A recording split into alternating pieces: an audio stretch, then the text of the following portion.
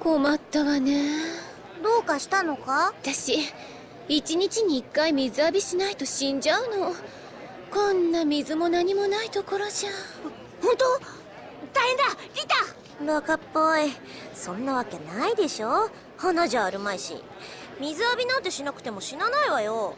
現に私はもう10日も水浴びてないから。あらそんなに？私だったらもう瀕死状態ねでもリタ姉からはほのかにいい匂いがするのじゃ。分かった。リタはドライフラワーなんだ。死ね！